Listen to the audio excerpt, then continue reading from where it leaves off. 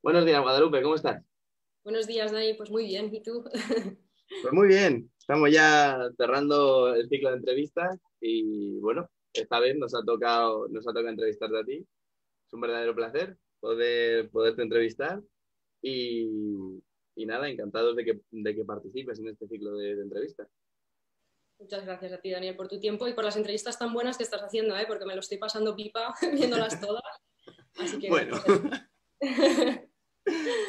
Eh, bueno, eh, déjame que te presente. En primer lugar, eres Guadalupe López Íñiguez. Eh, antes de cualquier otra cosa, eres chelista. también es, esta entrevista también tiene el placer de poder entrevistar a la vicepresidenta de la asociación, de la EDMIN. eres docente en la Universidad de Artes de Helsinki y además investigadora postdoctoral eh, en, la, Universidad de Finlandia. Y eh, bueno, como ya he comentado antes, chelista, eh, músico, músico freelance. ¿Me dejo algo? No, solo dentro de la Universidad de las Artes estamos en lo que es la Facultad de Música, ¿vale? Porque está en varias facultades, se fusionó hace unos años y yo estoy dentro de la Academia Sibelius. Ahí es donde trabajo como docente e investigadora. O sea que, perfecto. Toalla.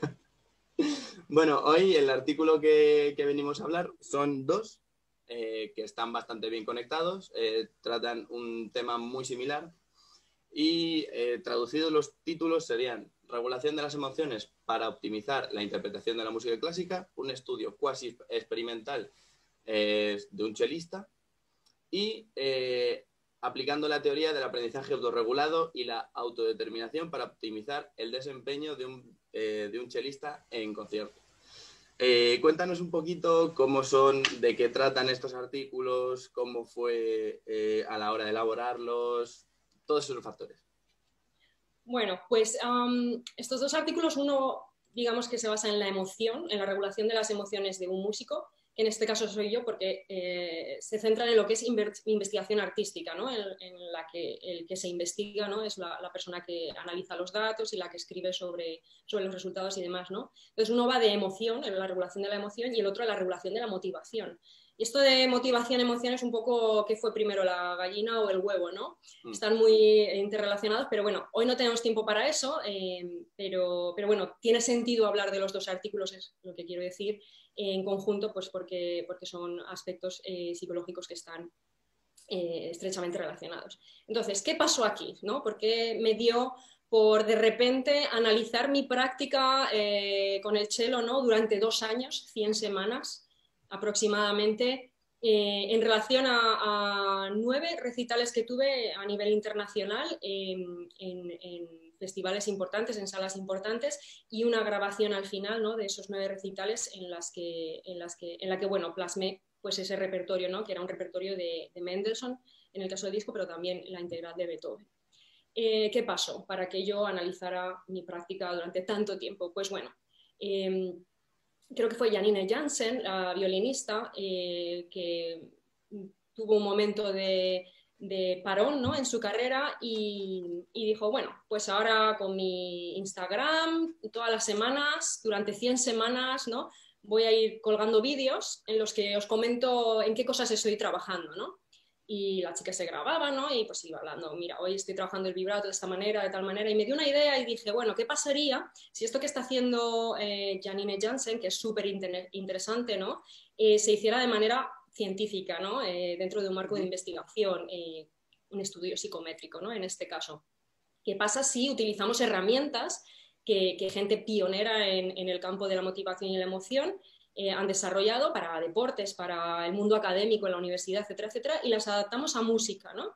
Y vemos qué hace un músico a alto nivel eh, cuando se prepara para, para tal en ese periodo de 100 semanas, ¿no? Es decir, hacer lo mismo que hizo ella, pero un poquito más de foco, más centralizado, ¿no? Y, más en el marco de la investigación. Y eso es lo que hice, lo que hice es eh, em, adaptar varias medidas, ¿no? que ya estaban validadas al, al campo de la interpretación de música clásica y durante 100 semanas yo me puse ahí con mis diarios, con mis papeles, con mis cositas y iba rellenando, ¿no? Cómo me sentía antes de ponerme a practicar, cómo me sentía durante la práctica, en algún momento paraba ¿no? y, analizaba eso o describía ¿no? cómo me sentía y al final qué es lo que había pasado. ¿no? Entonces es un proceso de autorregulación continua. ¿no? Eh, entonces eso lo hacía una vez a la semana durante las 100 semanas y iba midiendo varias cosas, pues medía, pues eso, si me siento agradecida, si me siento feliz, si me siento entusiasta, si estoy orgullosa de lo que estoy haciendo, o cosas más negativas en plan, estoy triste, eh, hoy siento que nada fluye, eh, estoy súper aburrida, eh, tengo ansiedad, ¿no? Y con la motivación también iba viendo qué es lo que estaba afectando esos estados emocionales, ¿no? ¿Se debe esto a que he tenido un ensayo con la pianista y me ha dado súper buen rollo y esto ha hecho que mm, me, sienta más feliz, me sienta más eh, animada a practicar, o ha sido porque a lo mejor he entregado una beca, no me la han dado, el resultado ha sido negativo, ¿no? O me ha entrado una crítica de mi primer disco que era súper mala y, me he caído, ¿no? Entonces, eh, digamos que analicé todo en un conjunto global a largo plazo. Pero claro, tú te puede venir una noticia muy buena o muy mala en un momento determinado de tu vida, afectarte ahí, pero lo que tú tienes que ver es a largo plazo qué es lo que pasa, ¿no? Eh, porque eso no determina que lo vayas a conseguir o que no lo vayas a conseguir, ¿no? Es un poco como lo que dicen los estudios de pérdida de peso, que la pérdida de peso ni las dietas ni todas esas historias funcionan. Lo que funciona es que tú todos los días apuntes cuál es el peso y mides la media global de la semana y ahí te está dando un indicador de mm, por dónde vas, ¿no? Pero no es de repente pierdes dos kilos, luego ganas otros tres y no tienes ni idea de qué es lo que está afectando a eso, ¿no? Eh, un poco sin ton ni son. Pues esto era lo mismo, ¿no?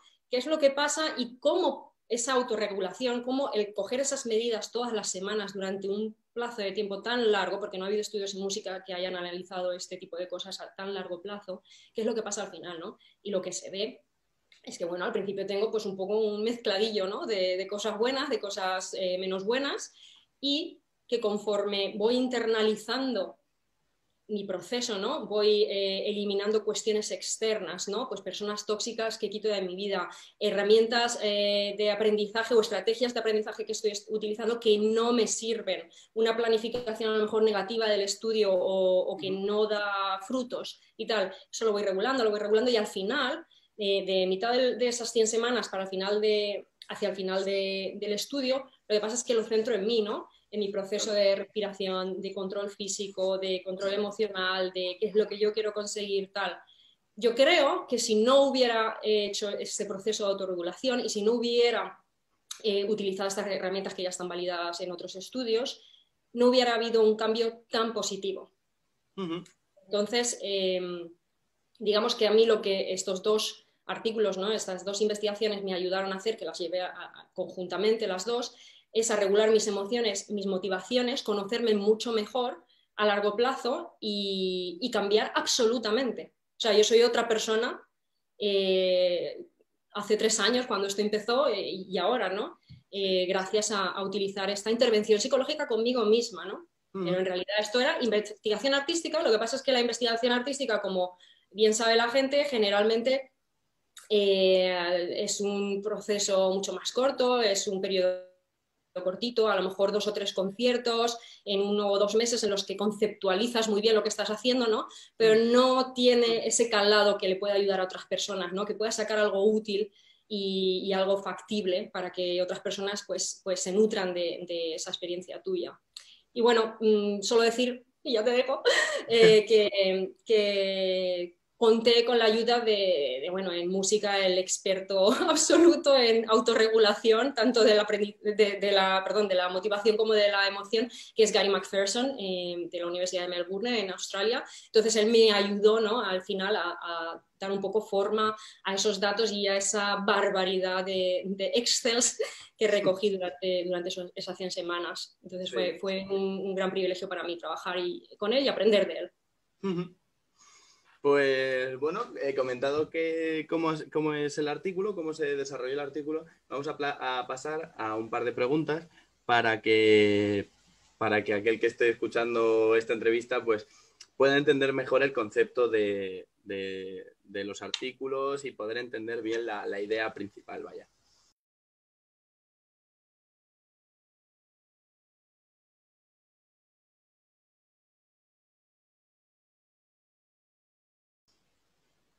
Eh, bueno, en primer lugar, eh, ¿qué importancia crees que podría tener la regulación de estos procesos a largo plazo? A ver, en el tema de la emoción eh, hay muchísimos estudios que, nos cuentan ¿no? que los estados emocionales de las personas, pero en este caso de los músicos, ¿no? influyen en las estrategias que seleccionan tanto para sus estudios como para su carrera. Lo cual significa que si tú te estás sintiendo fatal ¿no? y, todas las emociones que, que fluyen a través de ti son negativas, lógicamente vas a seleccionar cosas que a lo mejor no te interesan para tus metas, ¿no? Eh, inconscientemente. Y, bueno, pues tu carrera a lo mejor no va a ser lo fructífera o en la línea en la que tú querrías. Claro, aquí ahora hay un boom con todo el tema de los estudios de, entrepreneurship, ¿no? De, cómo gestionar tu carrera, de, cómo tener éxito en la carrera, de, tema del negocio, ¿no? De la industria musical y tal. Y claro, no se dan cuenta de que bueno, tú te pueden dar una, recetita mágica ¿no? de, cómo grabar un disco, de cómo gestionar el networking para que te inviten a conciertos, para tal y para cual, pero eso lo sabe todo el mundo. ¿no? Entonces, al final, eh, el que lo consigue no es porque le han dado la receta mágica, pero las recetas mágicas las sabemos, tú te metes en cualquier blog y las tienes ahí, ¿no? Mm. Eh, el que lo consigue es porque tiene esa regulación emocional, ¿no? Que le ha ayudado a escoger bien qué es lo que tenía que estudiar, a centrarse, ¿no? Y en la carrera a, llevar el, o sea, a, llevar la carrera que quería, ¿no? Que ha escogido. Entonces, ese nivel de éxito eh, y de aprendizaje de una persona está directamente relacionado con la situación emocional. Por lo tanto, en el caso del, artículo sobre regulación emocional, es algo que podemos aplicar a, otras personas porque eh, la, regulación de las emociones, tanto positivas como negativas, es algo que se puede regular. Y de hecho se puede regular muy fácil.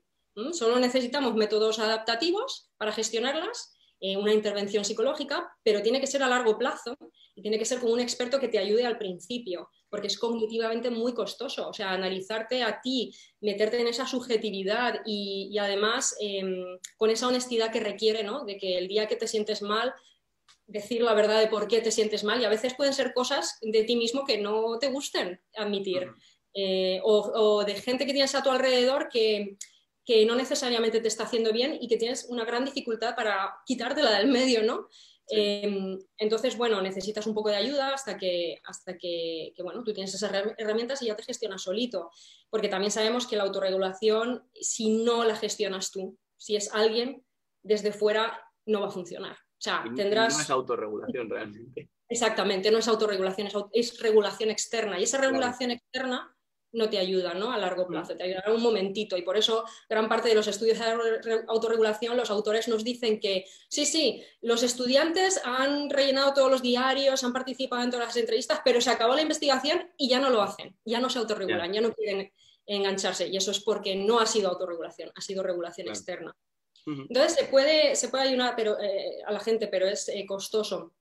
Con la motivación eh, sucede lo mismo. Lo que te decía antes ¿no? del negocio de la industria musical, saberse todas las triquiñuelas para navegar el, mercado y tal.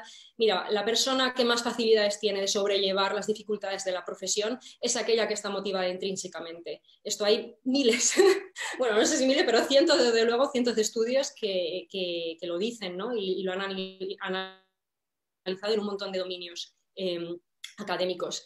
Eh, y de deportes ¿no? y artísticos. Entonces, em, claro, si tú estás eh, en música porque quieres ser famoso, porque quieres tener un montón de dinero, porque quieres que la gente te adule y por todo ese tipo de cosas, en cuanto te venga un bajón, aunque te venga una crítica mala o en cuanto te salga un concierto mal, ¿vale? Eh, lo vas a tener mucho peor para reponerte que aquella persona que lo hace verdaderamente eh, porque le gusta y porque siente pasión, ¿no? Esa pasión armoniosa que, se habla en los estudios de psicología, ¿no? Es una pasión sana. Entonces, eh, bueno, pues eh, regular estos procesos es fundamental. Mucho antes de ponerse a hablar del negocio de la industria musical, tendríamos que saber esos alumnos que nos llegan a las clases, ¿vale? Que quieren ser músicos, ¿por qué quieren ser músicos? ¿Qué es lo que les motiva? ¿Es realmente esa pasión? Porque si no, lo van a tener muy mal.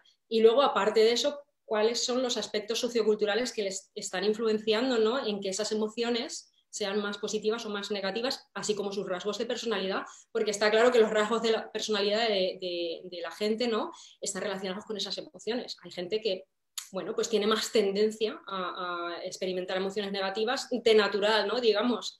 Entonces, bueno, pues eso hay que saberlo, hay que saber cómo es la persona para poder ayudarle. Así que si tú quieres incrementar el potencial artístico y el bienestar de un intérprete, necesitas analizar eso, tanto emoción como motivación, darles las herramientas para que gestionen eso y luego ya te pondrás a hablar de, los derechos eh, y los royalties, ¿no? De cuando grabas discos o cuando se te escucha en Spotify, que eso viene bastante después. También quiero hacer una puntualización, que es que eh, muchas veces nos olvidamos de, nuestro entorno. Es decir, nosotros pensamos que, que, lo malo es el que te han dado una obra o tienes que tocar, tienes que interpretar no sé qué, que no te gusta o lo que sea. Y siempre tendemos a pensar que las frustraciones vienen por ahí, o de que no tienes un mal día, o de, de X factores, pero todos relacionados con la música. Y nos olvidamos que realmente hay muchos factores que influyen en todo este tipo de aspectos que no tienen nada que ver con la música. Efectivamente, y que son tanto internos, que nos olvidamos también de esos aspectos mm. internos, ¿no? Eh, como externos, efectivamente. Eso es lo que en, investigación llamamos los, eh, elementos socioculturales ¿no? que generan eh, puntos de inflexión, ¿no? esos momentos cruciales, que se te cruza una persona en la vida y puede ser para bien o para muy mal. ¿no? Y, eso es algo que, es ese efecto que no puedes controlar. ¿no? El, efecto ese de chance que, dicen en inglés. Que, bueno, que independientemente de que tú te regules la emoción, la motivación, y que tengas eh, poder económico. Para poder comprarte los instrumentos, para poder ir a cursillos, para poder, o sea, es una carrera cara. La música es una carrera cara, aunque los estudios, por ejemplo, en España sean gratuitos, ¿no? Em, más allá de eso, hay un factor suerte ahí, que es ese aspecto sociocultural. ¿Quién te cruzas, ¿no? El momento, eh, que un crítico que no te conoce de repente te ponga un estal o te quiera destrozar sin razón aparente y sin conocimiento de causa, ¿no? Ese mm. tipo de cosas. Entonces hay que, como dices tú, ¿no? Hay que tener en cuenta todos esos elementos. Es un cubo de Rubrik muy complejo. Claro.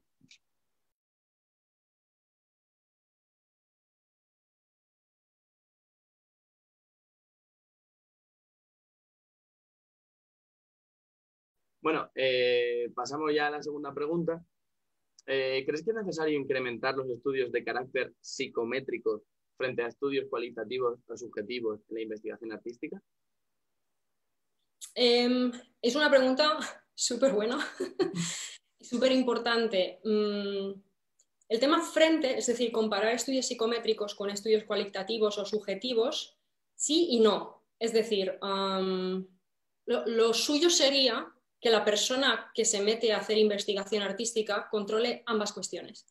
¿eh? Porque, claro, eh, tú un estudio psicométrico como estos que yo te he hecho, pues te da una idea mucho más clara y concisa de en qué cosas me tenía que centrar para regularme, ¿no? de cómo iban fluctuando eh, esas emociones ¿no? y esas motivaciones a lo largo del tiempo y cuáles eran los elementos estos socioculturales ¿no? externos e internos que, que, influenciaban en ello ¿no? y que es lo que yo tenía que hacer para cambiar esas pautas si quería cambiarlas. Está claro. Pero es cierto que hay veces que hay procesos que salen fuera de ello que mm, también son importantes, ¿no? Y que independientemente de que tú quieras medirte, de que tú sepas exactamente eh, qué es lo que te está ayudando y qué es lo que te está perjudicando, ¿no? Hay cuestiones de la persona internas, eh, esos rasgos de personalidad, ¿no? Eh, esos momentos familiares, profesionales, ¿no? Que, que, a lo mejor no necesitas tan necesariamente analizarlos eh, súper objetivamente, ¿no? De, esta manera realista o positivista como son estos dos estudios, sino de una manera más subjetiva que también es válida y que también es importante porque es la experiencia humana. ¿no? Entonces yo diría que es importante ver ambas cuestiones, eh, estudios mucho más cuantitativos y estudios mucho más cualitativos. O sea, por ejemplo, yo he hecho también autoetnografía que nada tiene que ver con, estos estudios psicométricos. Y, es fundamental también, ¿no? Porque pones eh, sobre la mesa eh, unas cuestiones económicas, culturales, filosóficas, también son importantes, ¿no? no solo el aspecto psicológico. Entonces, no diría frente, diría, añade esto a lo que generalmente se hace en investigación artística, mucho. Y no se hace. ¿Por qué no se hace? Porque cuesta. O sea, a mí esas 100 semanas, pues eh, no me hubiera apetecido hacer a lo mejor otras cosas, ¿no? Pero mm. dije, vamos a probar, vamos a intentarlo. Em, vamos a rellenar esto religiosamente, semanalmente, ¿no?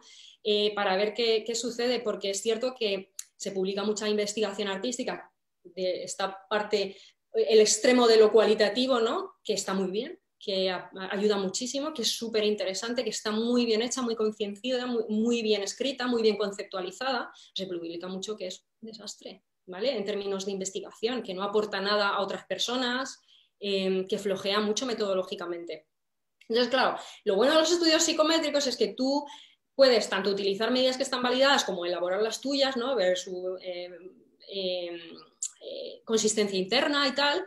Y, bueno, sabes que va a ser claro, ¿no? que va a ser objetivo y, que otras personas van a poder utilizarlo, porque si a ti los resultados han, ido bien ¿no? y, ves que ha habido un cambio positivo y tal, pues siempre puede otra persona coger exactamente las mismas herramientas utilizar el mismo periodo que tú has utilizado, en este caso, por ejemplo, 100 semanas, pero lo pueden reducir justificando por qué, pueden cambiar el repertorio que utilicé, utilizar otro repertorio con otros instrumentos, en otros eh, contextos socioculturales, ¿vale? Y, y, ver qué pasa, ¿no? Y pueden contrastar eso que les salga a ellos con lo que me salió a mí, ¿no? Y con eso vamos construyendo ¿no? y vamos ayudando a los alumnos y podemos empezar a generar debate, política educativa, ¿no? de qué es lo que tenemos que hacer ahora en los conservatorios superiores, en los conservatorios eh, eh, elementales y profesionales, ¿no? que esto de la motivación y la emoción es importante, no solo el tema de la industria musical y cómo, cómo ganar dinero ¿no? en la carrera artística. Em, pero claro, si no lo haces así, si no utilizas esas medidas más eh, objetivas, una investigación más realista y positivista, es complicado. Es complicado porque al final eh, se reduce a eso, a una experiencia única, interna, eh, subjetiva, humana, que a lo mejor no es válida o aplicable a, otras situaciones a otras personas.